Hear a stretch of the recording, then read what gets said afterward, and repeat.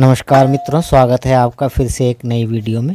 मित्रों, ये Leicester engine, जैसा कि अभी आपने देखा, काफ़ी मशक्क़त करने के बाद भी ये स्टार्ट नहीं हो रहा है। तो जानिए इसके अंदर क्या क्या ख़राबी हैं, उसके विषय में जानकारी देने जा रहे हैं। इसमें क्या क्या ख़राबियाँ पाई जाएँगी, ये हम आपको डिटेल में बताएँगे। तो हमने ये खोलना शुरू किया है। ये रोकर असेंबली को अलग किया है खोलकर। ये तो लगभग सही सही वर्क कर रही है रोकर असेंबली जो हमने खोली है। अब ये डीजल टैंक खोलेंगे। डीजल टैंक को खोलकर भी अलग करेंगे तभी हम आ, सही से खोल पाएँगे संपूर्ण इंजन को। तो ये हम पूरा इंजन खोल करके आपको सब एक्सप्लेन करेंगे कि इसके अंदर क्या क्या ख़राबियाँ हैं और ये क्यों नहीं चल पा रहा है। तो इस तरह से हमने ये टैंक को भी हटा लिया है, प्रेशर पाइप को भी हटा लिया है नोज़ल से। अब इसका 28 नंबर के रिंग स्पैनर से इसके हेड को खोल देंगे, चारों नटों को खोल देंगे। ये चारों नटों को खोलने के बाद ही हम हेड को ओपन कर पाएँगे। तो ये देख लीजिएगा, इसका हेड तो लीकेज है ही, जो कि रिपेयर किया जाएगा। ये तो श्योर है, पक्का दोबारा से इसमें बाल डाल करके सेट करेंगे। नए वाल गाइड वगैरह लगा करके। सी आर बेरिंग और सी आर बुश कटने के बावजूद ही इसमें गैप आ गया है पिस्टन डाउन हो चुका है। तो और इसके ये गैप भी काफ़ी हो चुका है पिस्टन डाउन है। ये भी थोड़ी सी सेटिंग की दिक्कत है। और बाकी हम आपको रिंग वगैरह दिखाते हैं। इसको अलग कर लेते हैं ब्लॉक को इस तरह से। सिलेंडर ब्लॉक को अलग कर लिया है।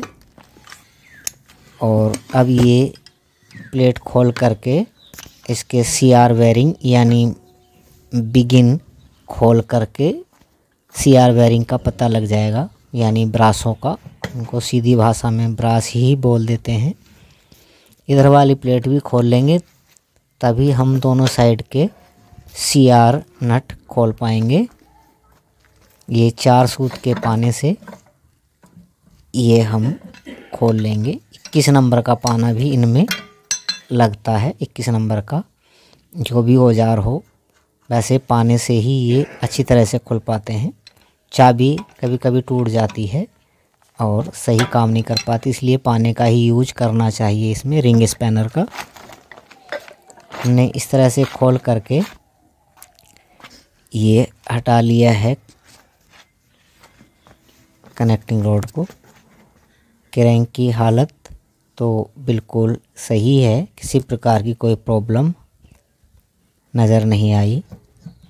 ये देखिए प्रॉब्लम यहाँ भी है, इसके अंदर हमने ये भील हिला रहे हैं तो एक किसी बैरिंग में या दोनों में भी ये दिक्कत हो सकती है। किसी ना किसी बैरिंग में प्रॉब्लम है तो इधर जो पुली वाला साइड है, उधर अधिक लोड होने के कारण पुली साइड वाला बैरिंग इसका ख़राब हो चुका है। ये सी आर बैरिंग भी, ये देखिए, ये चिपक रहे हैं एक साइड से। ये जो ब्रास हैं, ये चिपक रहे हैं और ये स्क्रैच भी आ चुकी है इनके अंदर। ये बुश ढीला हो गया है कनेक्टिंग रोड का बिल्कुल अलग है। और ये रिंग देख लीजिएगा रिंग भी काफ़ी डाउन हो चुके हैं। एक बार सिलेंडर ब्लॉक के अंदर ये देख लीजिए, इतना गैप आ चुका है जो कि काफ़ी गैप है। ये प्रेशर को नहीं रोक पाएगा। चलो।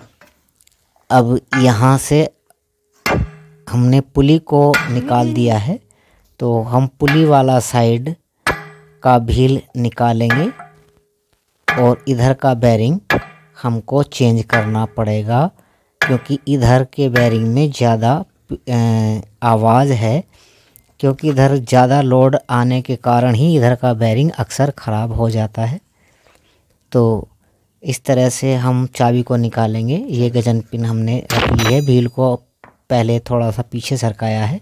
अब ये चाबी हमारी गजन पिन के थ्रू ये आ गई है। इस तरह से हमने हथौड़े से इसको बाहर निकाल लिया है।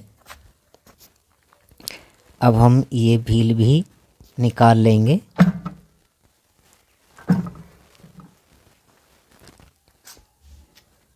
भील को ऐसे घुमा लेंगे। अंदर एक लकड़ी के सहारे डंडा डाल करके एक लकड़ी का उससे क्रैंक रोक करके हम भील को बड़ी आसानी से बाहर घुमा करके निकाल लेंगे।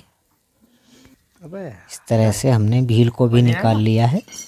अब ये बैरिंग ब्रैकेट खोल करके बैरिंग की पोजीशन आपको दिखा देते हैं। मित्रों ये वीडियो हमने मात्र हमने इसमें क्या क्या ख़राबी पाई है ये हमने आपको बताया है। इसका लाइनर पिस्टन सही है। लाइनर पिस्टन में कोई दिक्कत नहीं है। और इसमें रिंग ही डालेंगे और बाकी सेटिंग इसकी करेंगे। बैरिंग ये नया डालेंगे। वो नेक्स्ट वीडियो में हम आपको दिखाएँगे कंप्लीट फिटिंग तो मित्रों वीडियो अगर पसंद आया हो तो वीडियो को लाइक शेयर करना। चैनल को भी सब्सक्राइब कर लीजिएगा। तो हम ये पुराना बैरिंग भी निकाल करके आपको चेक कराएँगे कि इसमें कितनी ख़राबी है। ये काफ़ी टाइट निकला है, अच्छी फिटिंग है, कोई दिक्कत नहीं है क्रैंक के अंदर तो। ये देख लीजिएगा, इसमें ये काफ़ी गोलियाँ देखिए किस तरह से चली हैं, क्योंकि आधी गोली काली हो चुकी है और आधी वाइट हो रही है। तो ये हट कर चल रही हैं, इसमें काफ़ी प्ले हो गई है। ये इसकी स्लिप भी काफ़ी कट गई है। तो मित्रों, ये वीडियो यहीं तक रहेगी। नेक्स्ट वीडियो में हम कंप्लीट फिटिंग करके आपको दिखाएँगे। तब तक के लिए नमस्कार मित्रों, ये देखिए काफ़ी स्लिप कट चुकी